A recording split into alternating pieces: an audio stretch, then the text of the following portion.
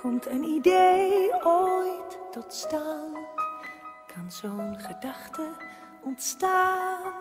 Waar komt dat helder ogenblik? Dat inzicht toch vandaan? Dat komt door ons zin voor zin. Gaven wij die woorden in, die fluisterden wij toe.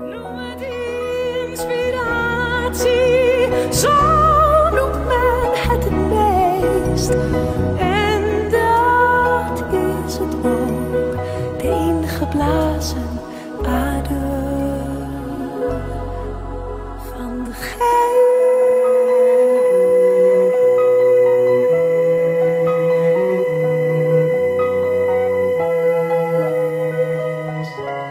Van